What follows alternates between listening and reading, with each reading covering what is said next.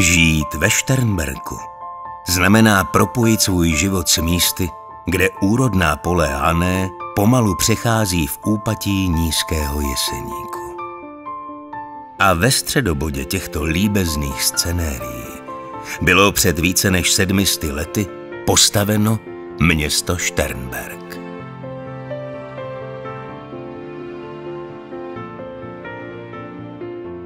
Starobilé památky zde ožívají novým životem.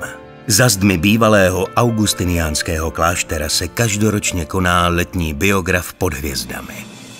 Ani hrad, který ční nad městem, nestrácí na své společenské důležitosti, neb pravidelně vítá návštěvníky nejen divadelních a hudebních akcí.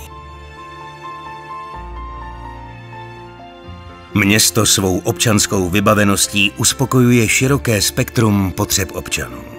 Bohatý kulturní a spolkový život stojí za zrodem současných tradic. Okolí je protkáno hojnou sítí cyklostezek a turistických tras.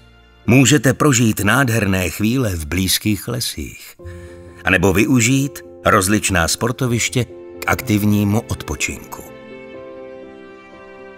Před více než stolety se ve Šternberku zrodil fenomén jménem Ekcehomo. Elegance, půvab, styl a noblesa starých strojů přízračně zapadá do kulis našeho města. Trať svou zrádnou krásou láká mistry volantu ze všech koutů Evropy. Vůně vysokooktanového benzínu je ve zdejších kopcích stále přítomná.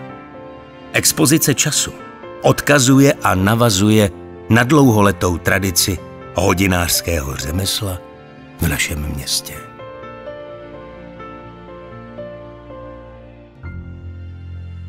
Sdílejte s námi krásy Šternberka. Není to ztracený čas.